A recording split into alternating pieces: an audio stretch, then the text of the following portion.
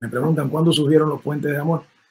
Yo, yo creo que la primera vez que, que oí hablar de esta idea, quizás no con el nombre de puente de amor, pero que oí hablar de esta idea, fue en, en la voz y en el clamor de aquellos emigrados que vinieron eh, hace muchos años, que, que pedían el levantamiento de las sanciones, que pedían una relación normal entre nuestros pueblos aquella gente que fueron a la conferencia de la nación y la inmigración, aquella gente que, que, extendieron una mano eh, al llamado de la nación y empezaron a, a tratar de,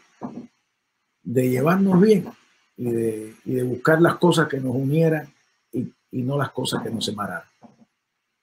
Y ahí contracorriente, ¿no? Y entre esos precursores de los puentes de amor, pues yo creo que, que Mas Lesnick, eh, fundador de la Alianza Martiana y otros tantos hermanos como Elena Freire y otros tantos, esos son eh, constructores de puentes de amor.